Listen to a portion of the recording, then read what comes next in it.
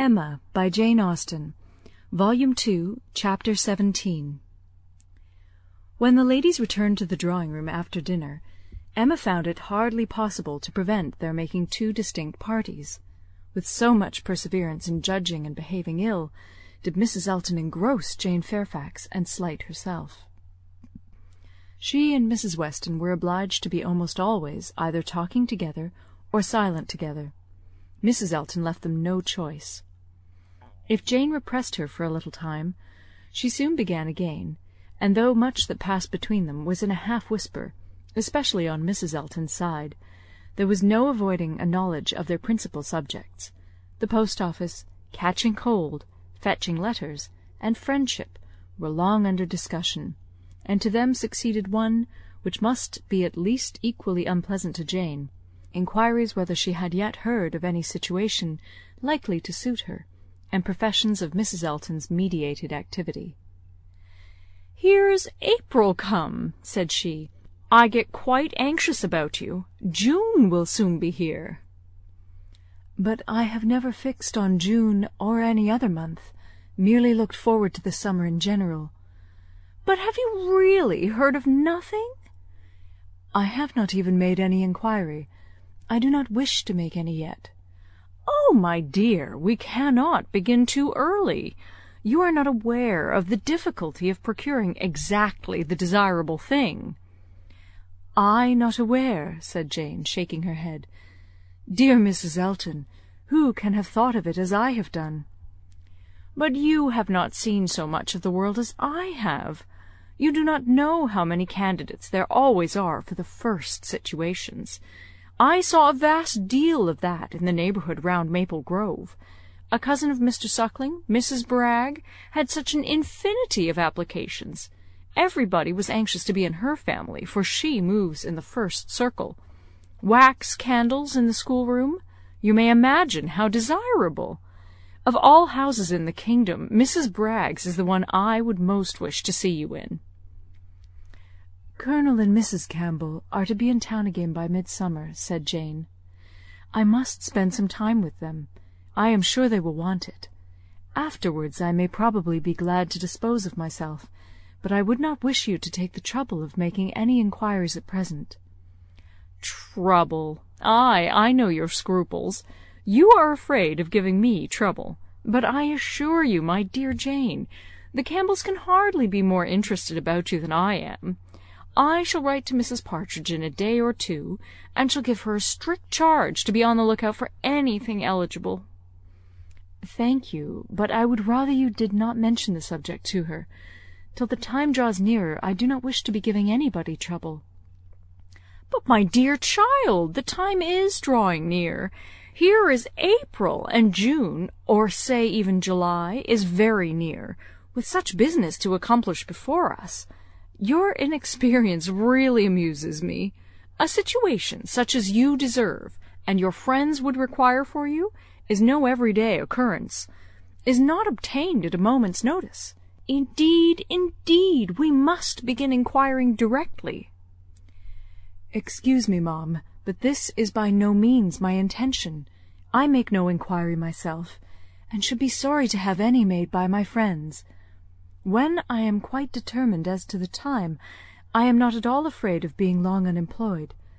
There are places in town, offices, where inquiry would soon produce something; offices for the sale, not quite of human flesh, but of human intellect." "Oh, my dear! Human flesh! You quite shock me. If you mean a fling at the slave trade, I assure you Mr. Suckling was always rather a friend to the abolition. "I did not mean I was not thinking of the slave trade," replied Jane. "Governess trade, I assure you, was all that I had in view. Widely different, certainly, as to the guilt of those who carry it on; but as to the greater misery of the victims, I do not know where it lies. But I only mean to say that there are advertising offices, and that by applying to them I should have no doubt of very soon meeting with something that would do." "Something that would do!" Repeated Mrs. Elton. "Ay, that may suit your humble ideas of yourself. I know what a modest creature you are.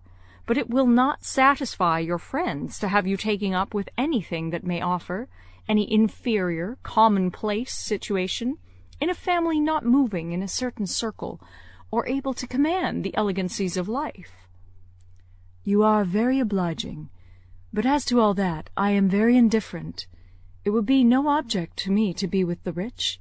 My mortifications, I think, would only be the greater. I should suffer more from comparison. A gentleman's family is all that I should condition for. I know you, I know you. You would take up with anything. But I shall be a little more nice, and I am sure the good Campbells will be quite on my side. With your superior talents, you have a right to move in the first circle. Your musical knowledge alone would entitle you to name your own terms, have as many rooms as you like, and mix in the family as much as you chose. That is, I do not know. If you knew the harp you might do all that, I am very sure. But you sing as well as play. Yes, I really believe you might, even without the harp, stipulate for what you chose and you must and shall be delightfully, honourably, and comfortably settled before the Campbells or I have any rest." "You may well class the delight, the honour, and the comfort of such a situation together," said Jane. "They are pretty sure to be equal.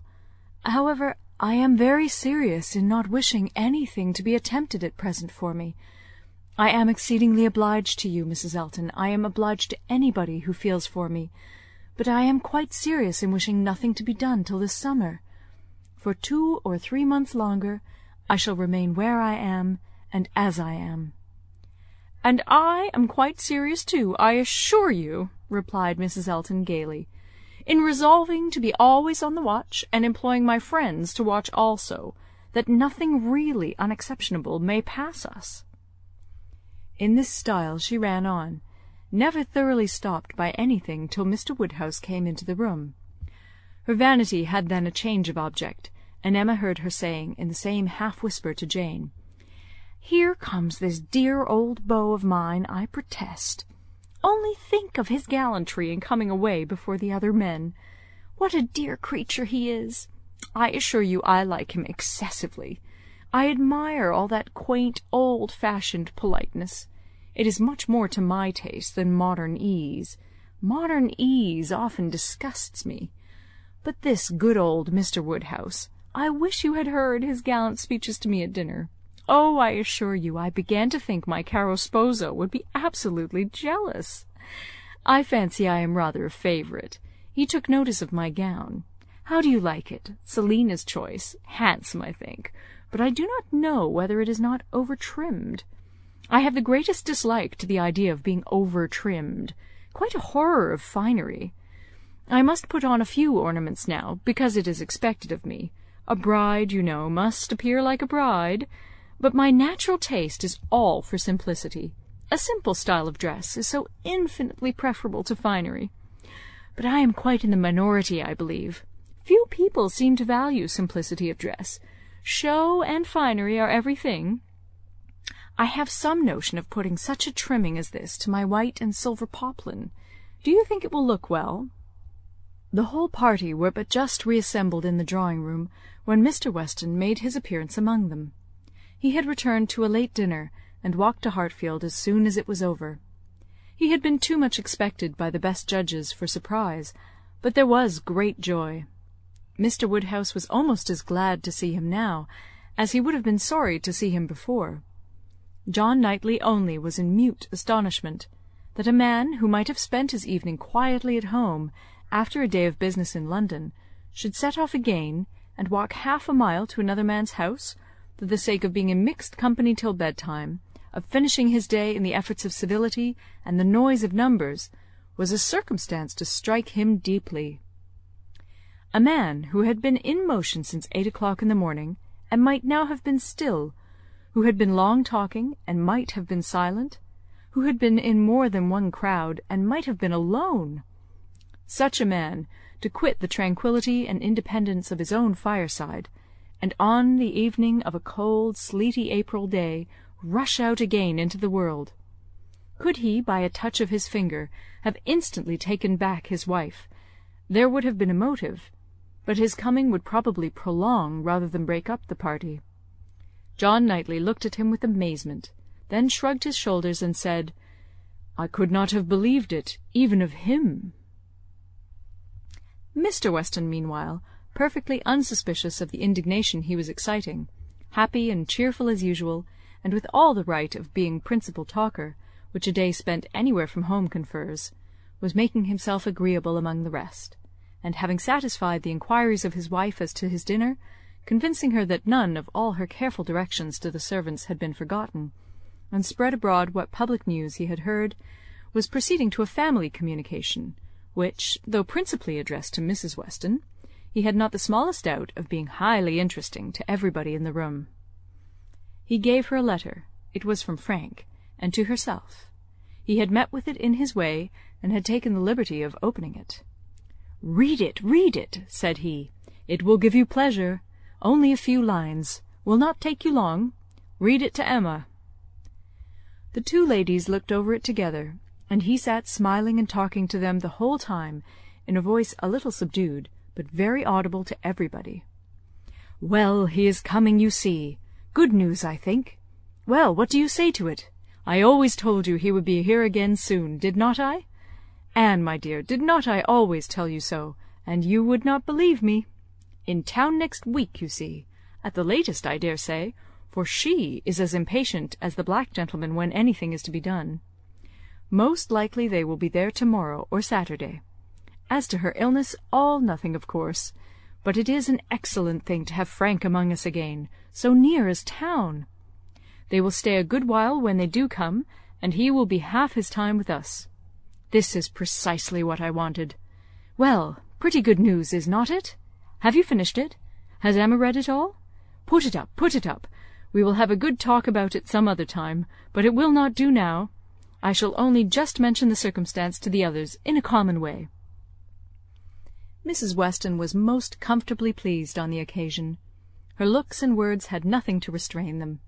She was happy, she knew she was happy, and knew she ought to be happy. Her congratulations were warm and open. But Emma could not speak so fluently. She was a little occupied in weighing her own feelings and trying to understand the degree of her agitation, which she rather thought was considerable. Mr. Weston, however, too eager to be very observant, too communicative to want others to talk, was very well satisfied with what she did say, and soon moved away to make the rest of his friends happy by a partial communication of what the whole room must have overheard already.